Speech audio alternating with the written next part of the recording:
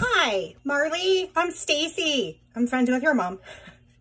I'm doing a reading for you today. I'm doing a general reading for you um, using the Witches of Tarot deck. I shuffled, I cleansed everything before I started. Okay, um, cut the deck, shuffle. Oh, I didn't even get started yet, and they're all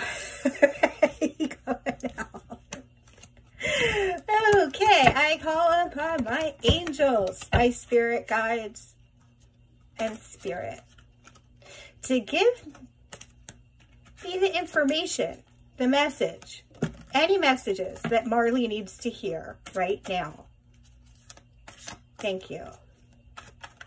Okay, we started off with two. Let's start with these two. Okay, Seven of Swords, Eight of Swords. Let's check. Bottom of the deck is the Empress. Okay, let's see. Any other messages? Any clarifiers? Spirit, angels, ancestors. Thank you. Anything else?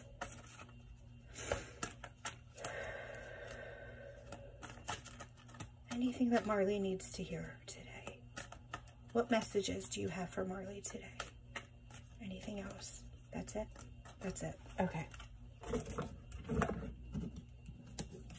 And we have the Queen of Pentacles, the Page of Wands,